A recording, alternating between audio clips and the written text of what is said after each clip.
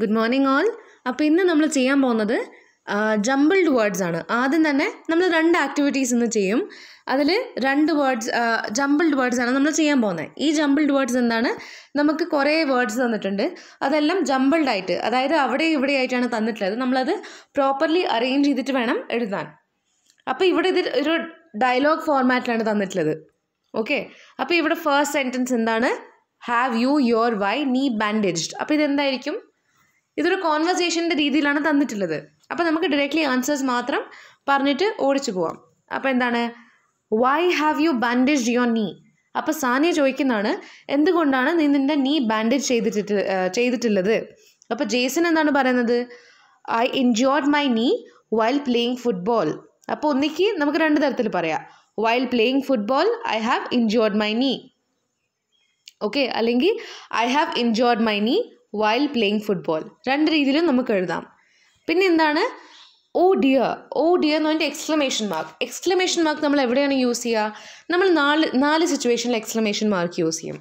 ഒന്നിക്ക് നമുക്ക് വളരെ സന്തോഷം കൂടുതൽ സന്തോഷം സന്തോഷമാണെങ്കിൽ അല്ലെങ്കിൽ നമുക്ക് ഒട്ടും സന്തോഷം ഭയങ്കര ഒരു വിഷമാണെങ്കിൽ ഭയങ്കര സർപ്രൈസ്ഡ് ആണെങ്കിൽ ഭയങ്കര ഷോക്ക്ഡ് ആണെങ്കിൽ ഈ നാല് സിറ്റുവേഷനിലാണ് നമ്മൾ എക്സ്ക്ലമേഷൻ മാർക്ക് യൂസ് ചെയ്യുക. അപ്പോൾ ഇവിടെ ജേസൺ എന്താണ്? സാനിയന്റെ ഫ്രണ്ടാണ് അപ്പോൾ സ്വാഭാവികമായിട്ടും സാനിക്ക് ജേസന്റെ കാലിന് ഇഞ്ചോർഡ് ആയി എന്ന് കേൾക്കുമ്പോൾ നല്ല വിഷമായി. അതുകൊണ്ടാണ് പറഞ്ഞത് ഓ ഡിയർ ഓ ഡിയർ എന്ന് പറഞ്ഞതിന് ശേഷം എക്സ്ക്ലമേഷൻ മാർക്ക് എന്നിട്ട് എന്താ പറഞ്ഞത്?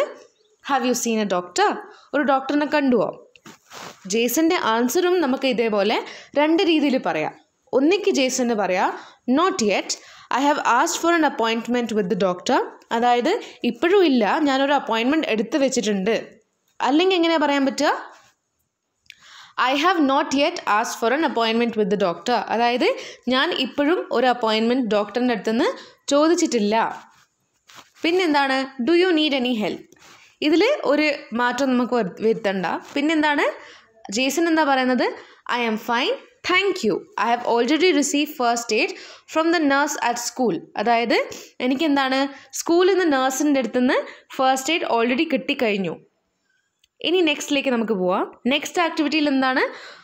ഓക്കെ ഈ നെക്സ്റ്റ് ആക്ടിവിറ്റി നിങ്ങൾ വൃത്തിക്ക് നോക്കുക. കാരണം ഇവിടെ എന്താണ്? അമൽ ലീവ്സ് ഹോം അപ്പം നമ്മൾ ഈ എസ് ഫോം യൂസ് ചെയ്യുമ്പോൾ എന്താണ്? ലീവ്സ് എന്ന് പറയുമ്പം എല്ലാ ദിവസവും നടക്കുന്ന ഒരു കാര്യമാണ്. ഇപ്പം എല്ലാ ദിവസവും ഒരാൾ അമൽ എല്ലാ ദിവസവും സെവൻ ഫിഫ്റ്റീൻ തന്നെയാണ് വീട്ടിൽ നിന്ന് പുറത്തിറങ്ങുന്നത് പിന്നെ നിങ്ങൾ ക്വസ്റ്റ്യൻ ഇപ്പം when does Amal leave home every day എന്നാണെങ്കിൽ എന്തായിരിക്കും answer Amal leaves home at seven fifteen പക്ഷേ ഇവിടെ എന്താണ്? ഇവിടെ നമ്മൾ കുറേ കാര്യങ്ങൾ കാണുന്നു. അമൽ ഒരു സമയത്ത് എന്താണ്? വീടിൽ വീടിൽ നിന്ന് ഇറങ്ങുന്നു. Amal leaves home reaches the bus stop bus bus സ്റ്റോപ്പിൽ എത്തുന്നു. ബസ് കംസ് അതായത് ബസ് വരുന്നു. Arrives at city centre city സെന്ററിൽ അമൽ എത്തുന്നു. മീറ്റ്സ് ആനന്ദ്. ആനന്ദിനെ കാണുന്നു. ഗോസ് ഇൻ ടു റെസ്റ്റോറന്റ് അതായത് റെസ്റ്റോറന്റിലേക്ക് പോകുന്നു.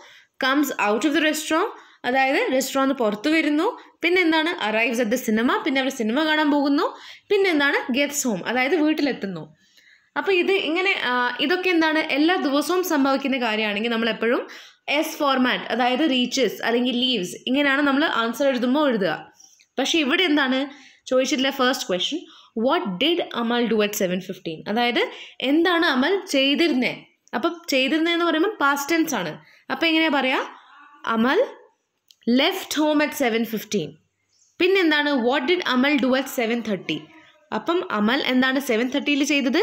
Amal got into the bus അപ്പം ബസ് ബസ് കംസ് എന്ന് മാത്രമാണ് എഴുതിയിട്ടുള്ളത്. പക്ഷെ നമുക്കറിയാം അമൽ സെവൻ തേർട്ടിക്ക് ബസ്സിൽ കയറിയെന്ന് അപ്പം എന്താ പറയുക Amal got into the bus at seven thirty why did Amal meet Anand അപ്പോൾ ഈ മീറ്റ് എന്തായി മാറും? മീറ്റ് മെറ്റ് ആയി മാറും.